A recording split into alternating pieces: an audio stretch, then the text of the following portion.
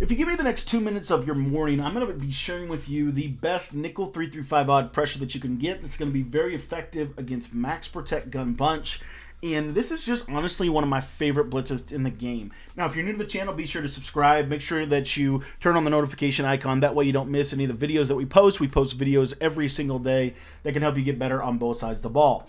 Also, we're using the Nickel 335 Odd Tampa 2. Now, real quick, before we dive into the video, I want to let you know I have a full Nickel 335 Odd defensive ebook on my website. There's going to be a link in the description. If you want to click on that link, it'll take you right over to the website, and you'll be able to get that. It's a one-time purchase of $15. And we actually break down not only all the pressure concepts, which we have some of the best pressure concepts in the game. I believe the best blitz in Madden we have in that defensive ebook.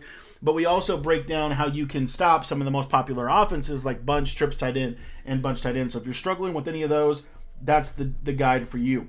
Now, all we're going to do from a setup perspective is we're going to base align our uh, play, which you could do that in your coaching adjustments, and then we're just going to spread globally spread our defense, and then we're going to press coverage, and then the last step is to crash our defensive line to the right. And I personally like to man up the linebacker on the left side of the screen here. On the running back, I like to use this guy and stand right here. And then I'm going to drop the defensive end on the right side into a coverage. And what you're going to see here is against max protect, so I'm blocking seven, we're coming completely free.